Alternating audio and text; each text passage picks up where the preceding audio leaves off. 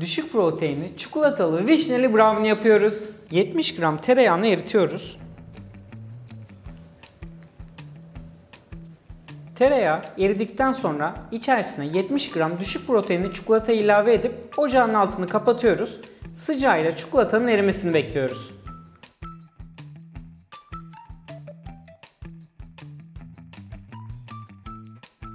...180 gram düşük proteinli unun içerisine 1 paket kabartma tozu, 1 paket vanilya, 75 gram toz şeker, 1 çay bardağı su,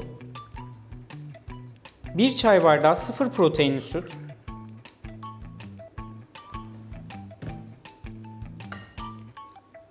hazırlamış olduğumuz düşük proteinli çikolatalı karışım,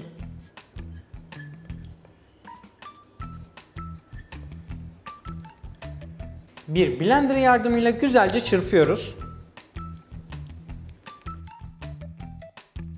Kalıpların içerisine hazırlamış olduğumuz kek karışımını döküyoruz.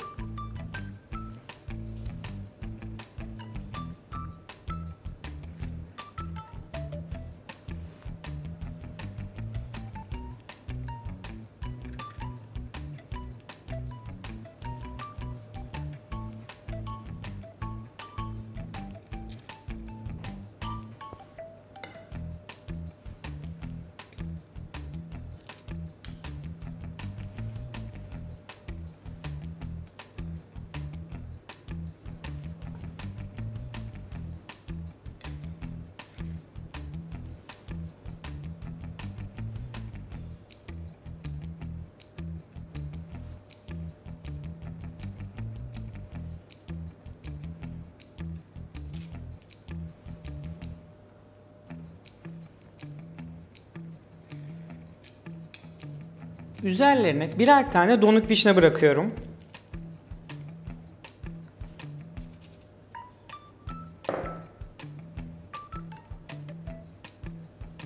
Şu şekilde.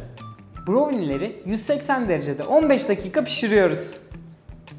Düşük proteinli vişneli çikolatalı brownie'lerimiz hazır. Afiyet olsun.